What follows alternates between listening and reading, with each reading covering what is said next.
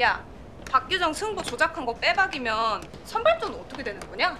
이다운 제가 차선 1호 되겠지. 이다운 운도 겁나 좋아.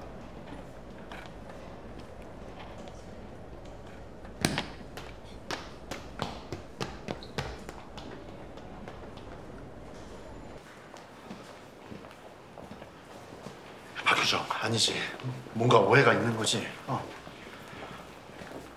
너 계속 이렇게 입만 다물 거야? 어? 뭐야? 너 아까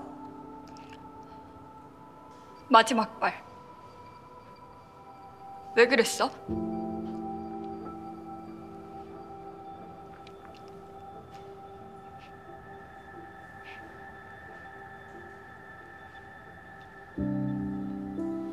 왜 웃어?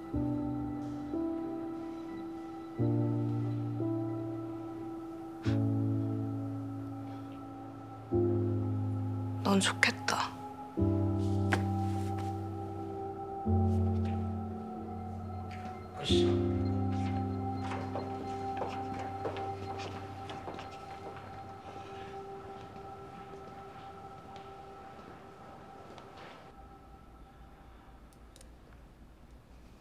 왜 그랬냐?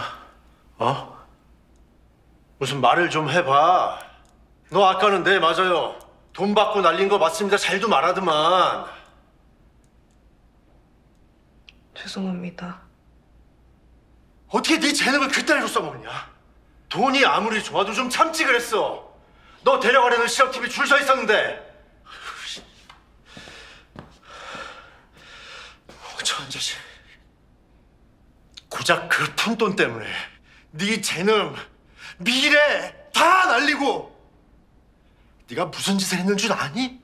기만한 거야 다! 고작 푼돈 아니에요. 뭐? 당장 동생이 잘못될 것 같은데.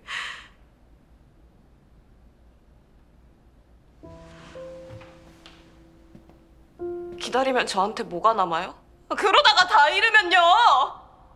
재능, 미래 그런 거 다 버리고 남들 기만해서 얻은 그 푼돈이 저한테는요 가족 지킬 수 있는 유일한 돈이었어요. 아 재고 따질 게 뭐가 있는데요?